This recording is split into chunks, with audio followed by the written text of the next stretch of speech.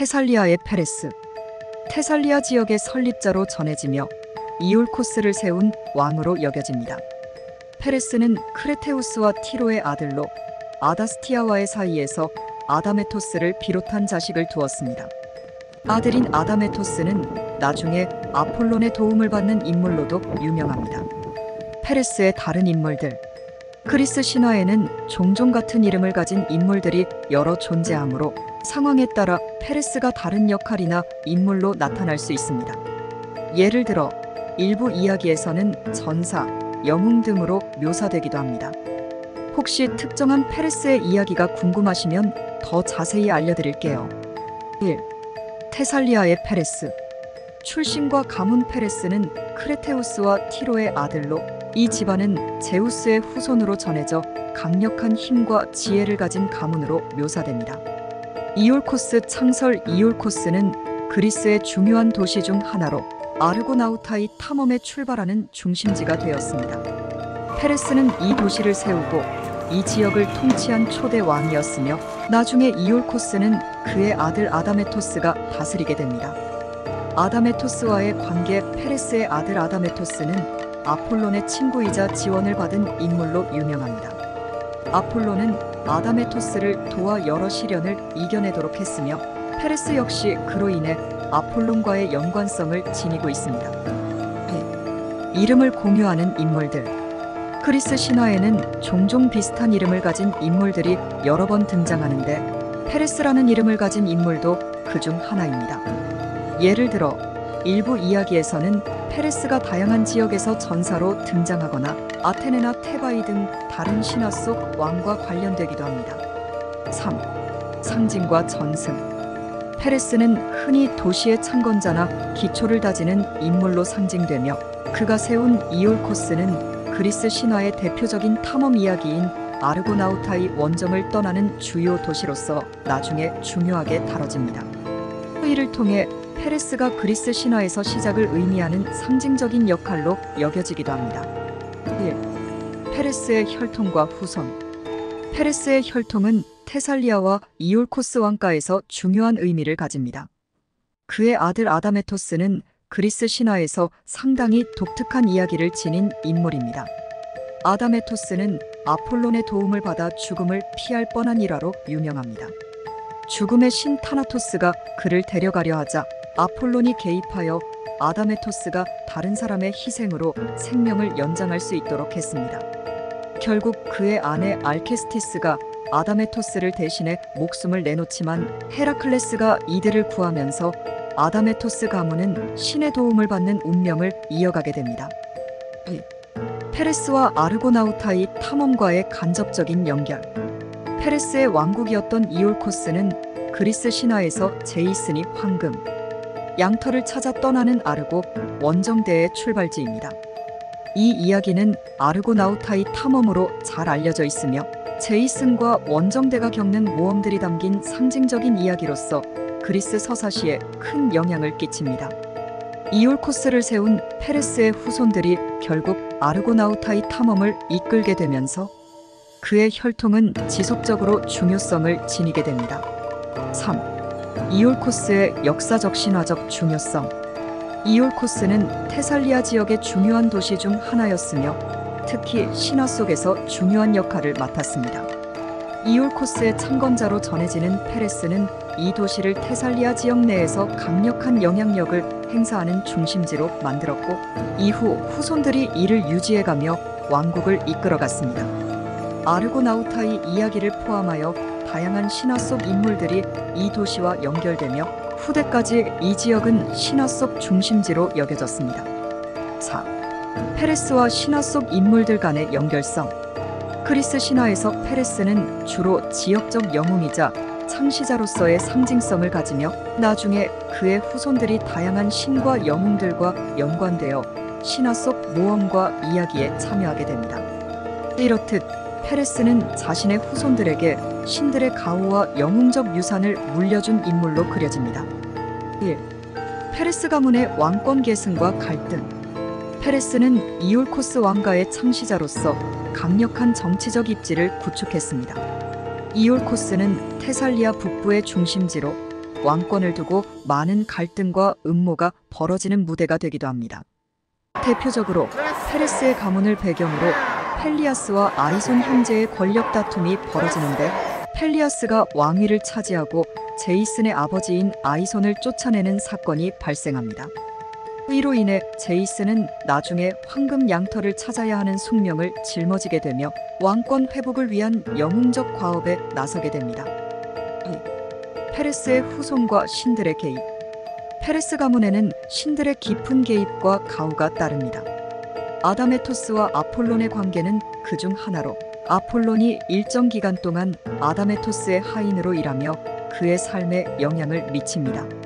이 관계로 인해 아다메토스는 여러 차례 생명을 구제받는 특권을 얻었고 이를 통해 페레스 가문은 죽음과 재생을 상징하는 신화를 형성하게 되었습니다. 헤라클레스 역시 이 가문에 개입하여 알케스티스를 구하는 모험을 펼치면서 페레스 가문은 신들의 도움을 받는 왕가로서 독특한 위상을 얻게 됩니다. 3. 이올코스와 아르고나우타이 탐험대의 중요성 제이슨과 아르고나우타이 원정은 그리스 신화에서 페레스의 후손들이 가장 빛나는 순간 중 하나입니다. 이 모험은 단순한 탐험이 아니라 왕권을 되찾기 위한 서사적 여정으로 이 과정에서 원정대는 강력한 용들과 마법 같은 장애물들을 겪게 됩니다. 특히 제이슨은 페레스 가문의 후손으로서 자신의 혈통과 운명을 극복하기 위해 모험에 나서며 이는 왕권 회복이라는 더 큰 신화적 의미를 담고 있습니다. 4. 이올코스와 주변 왕국들과의 관계 이올코스는 단독적인 도시 국가가 아닌 테살리아의 여러 다른 도시 및 왕국과 연관된 네트워크에 속해 있었습니다. 주변 왕국들과의 결혼 동맹, 전쟁, 우정 등의 관계는 페레스와 그의 후손들에게 있어 중요한 외교적 문제였습니다. 이는 그리스 신화 속에서 그리스 여러 지역들이 정치적, 가계적으로 얽혀 있음을 보여주며 페레스의 후손들 또한 이러한 관계를 통해 힘과 영향력을 넓히고 유지했습니다. 5. 페레스의 상징적 의미와 유산. 페레스는 단순한 도시의 창건자가 아니라 그의 혈통이 그리스 신화에서 다층적인 이야기의 구심점으로 작용하게 됩니다. 그의 후손들은 테살리아뿐만 아니라 그리스 전체에 걸쳐 영웅적 업적과 신화적 교훈을 남겼으며 그이들의 이야기는 그리스 비극과 서사시에 자주 등장하며 사람들에게 영웅적 삶과 신적 가호의 의미를 일깨워 주었습니다. 1. 페레스 가문과 희생의 주제 페레스의 가문에서 두드러지는 또 다른 주제는 희생입니다. 그의 아들 아다메토스의 이야기에서 두드러지듯 아다메토스가 죽음을 피하기 위해 다른 사람의 희생을 요구받았을 때 그의 아내 알케스티스가 자발적으로 자신을 희생합니다. 이는 그리스 비극에서도 자주 다뤄진 주제로 인간이 자신의 사랑과 가족을 위해 감내하는 희생이 신의 관점에서 얼마나 고귀한지 그리고 그 결과로 주어지는 구원이 얼마나 중요한지에 대해 탐구하는 장면입니다. 이때 헤라클레스가 다시 등장해 알케스티스를 죽음에서 구출하는데 이는 아다메토스 가문이 신들의 보호와 관심을 받고 있다는 상징으로 이해됩니다. 2. 제이슨과 메데이아의 비극적 사랑 페레스의 후손인 제이슨은 아르고나우타이 탐험을 마친 후 콜키스의 공주 메데이아와 결혼하게 되지만 그들의 사랑은 비극으로 끝납니다. 제이슨이 권력을 위해 메데이아와의 관계를 청산하려고 하자 메데이아는 격렬한 복수심에 불타며 그들의 자식을 죽이게 됩니다. 이 이야기는 그리스 신화에서 사랑, 배신, 그리고 비극이 얽힌 가장 극적인 이야기 중 하나로 제이슨과 페레스 가문의 비극적 운명을 극대화합니다. 특히 이 비극은 가문을 위한 권력욕이 얼마나 파괴적인 결과를 낳을 수 있는지를 보여주며 제이슨의 행위로 인해 페레스의 가문이 종국에는 파멸에 이르게 되는 아니, 과정을 육각이네. 상징적으로 나타냅니다. 3. 페레스 가문과 아르고 원정대의 상징성 아르고 원정대의 이야기에서 페레스의 후손들이 겪는 모험은 단순히 황금 양털을 찾는 이야기가 아니라 인간의 성장, 두려움, 탐구 정신을 상징합니다. 제이슨과 그의 동료들은 강력한 신들과의 싸움, 미지의 세계 탐험, 고난과 장애물 등을 통해 자신의 한계를 뛰어넘으며 이는 인간의 도전과 극복 정신을 대표합니다. 페레스가 창설한 이올 코스는 이 모든 모험의 시작점이자 중심지로 탐험 정신의 상징으로 자리 잡게 되었습니다. 4. 이올 코스 왕국의 몰락과 후대의 영향.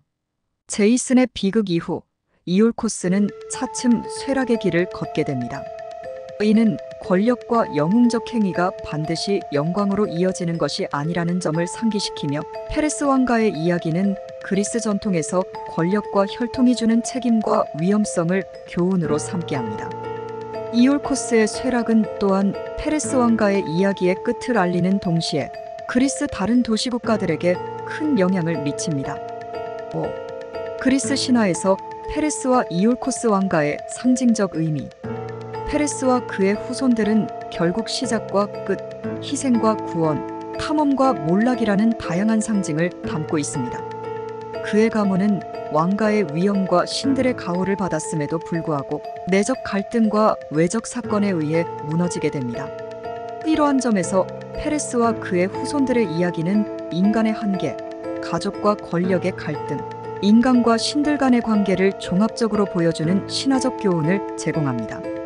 페레스와 그의 후손들이 그리스 신화에서 다루는 상징성과 주제는 인간의 욕망과 한계, 신과의 관계, 그리고 권력과 사랑에서 비롯된 비극의 다양한 측면을 반영합니다. 특히 이올코스를 둘러싼 페레스 가문 이야기는 인간적인 고뇌와 결단, 신의 간섭이 복합적으로 얽혀 있어 그리스 신화의 중요한 주제를 한데 모은 대표적인 사례로 여겨집니다. 추가로 이들 이야기의 깊이를 이해하기 위해 몇 가지 더 깊이 있는 주제와 연결성을 소개해 드리겠습니다. 1. 페레스 가문의 혈통과 제우스의 혈통성. 페레스는 제우스의 후손이라는 신성한 혈통을 통해 왕가의 정통성을 부여받았으며 이는 이올코스가 테살리아와 그리스 전역에서 중요한 위치를 차지하게 되는 근거가 됩니다. 제우스의 혈통을 이어받은 가문들은 대개 신들의 가호와 관심을 받으면서도 그 책임을 지고 끊임없는 도전에 직면합니다. 이러한 혈통은 가문의 영광뿐 아니라 종종 파멸의 원인이 되기도 하는데 이는 그리스 신화에서 신들의 혈통을 지닌 인간들이 신의 뜻과 인간의 한계를 넘어서려고 할 때 겪는 비극적 운명을 강조합니다. 2. 페르스 왕가와 영웅적 업적의 한계 제이슨의 아르고 원정대 이야기를 통해 이올코스는 그리스 신화에서 영웅적 모험의 출발점이 되지만 이 모험은 순수한 영광으로 끝나지 않습니다. 제이슨은 탐험의 성공 후에도 왕권을 장악하는데 실패하고 개인적으로는 큰 비극을 겪게 됩니다. 이 점은 고대 그리스에서 영웅적 업적의 의미가 단순한 성공이 아니라 그 과정에서의 희생과 참담함을 포함하는 것임을 암시합니다. 즉, 페레스 가문은 영웅적인 업적과 권력을 지녔으나 그로 인해 역설적으로 파멸을 겪는 인간사의 복잡함을 상징합니다. 3. 페레스 왕가와 여성의 상징성 알케스티스와 메데이아. 페레스 가문 이야기에서는 여성 인물들이 중요한 상징성을 지닙니다. 알케스티스와 메데이아는 각각 자신이 속한 가문을 위해 희생하거나 복수를 감행하는 인물로 묘사됩니다. 알케스티스 자신의 남편 아다메토스를 위해 자발적으로 죽음을 맞이하는 그녀의 희생은 사랑과 충성을 상징하며 헤라클레스의 개입으로 인해 죽음에서 되돌아오는 기적을 경험합니다. 알케스티스의 이야기는 순수한 헌신과 사랑의 힘이 죽음을 극복할 수 있는가에 대한 그리스적 사유를 반영합니다. 메데이아 제이슨의 아내가 된 메데이아는 남편에게 배신당하자 극적인 복수로 응수합니다. 그녀는 자녀를 죽이고 제이슨의 새로운 혼인을 파탄에 이르게 하며 제이슨과 이올코스 가문을 완전히 파멸로 몰아넣습니다. 메데이아의 이야기는 사랑에서 비롯된 배신과 복수, 그리고 이로 인해 가문이 처참하게 몰락하는 과정을 통해 인간 감정의 복잡성과 비극성을 상징합니다. 4. 신과 인간 사이의 상호작용과 책임의 주제. 페레스와 그의 후손들이 신들과 맺는 관계는 다면적입니다.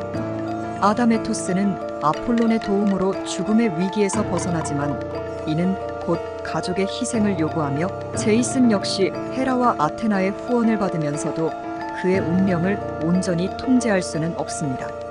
이는 신과 인간 사이의 미묘한 균형과 인간이 신의 도움을 받을 때 그 대가로 치러야 할 희생을 암시합니다. 그리스 신화는 종종 신들의 개입이 축복처럼 보이지만 그로 인해 인간이 지게 되는 책임과 짐을 강조하는데 페르스 왕가의 이야기도 이러한 맥락에서 이해될 수 있습니다. 5. 페레스와 이올코스의 유산 후대 그리스 신화와 연극에 끼친 영향. 페레스 가문의 이야기는 후대 그리스 문학과 철학, 연극에 깊은 영향을 끼쳤습니다. 특히 에우리피데스와 소포클레스와 같은 비극 작가들은 아다메토스와 알케스티스, 메데이아와 제이슨의 이야기를 자주 다루며 인간 내면의 고통과 갈등을 묘사했습니다. 이들 이야기는 그리스 연극에서 비극적 갈등과 인간적 선택의 중요성을 탐구하는 중심 소재로 발전해 나갔으며 이는 서양 문학과 철학 전반에 큰 영향을 미쳤습니다. 6. 그리스 사회와 종교적 의식에서의 상징성 페레스와 그의 후손 이야기는 그리스 사회에서 희생, 의식, 그리고 신의 가호에 대한 사상을 반영합니다. 특히 아다메토스와 알케스티스의 이야기는 그리스 제2에서 중요한 상징으로 자리 잡았으며 종종 사랑과 죽음 그리고 부활을 상징하는 예식에서 인용되었습니다. 이는 고대 그리스에서 가족과 사랑을 위한 희생이 신에게 얼마나 숭고하게 여겨졌는지를 보여주는 중요한 신화적 요소로 작용합니다. 페레스 가문의 이야기와 그들의 비극적 운명은 신과 인간의 관계에서 비롯되는 갈등과 선택, 그리고 이를 통해 얻는 교훈을 대표하는 그리스 신화의 중요한 이야기 중 하나입니다.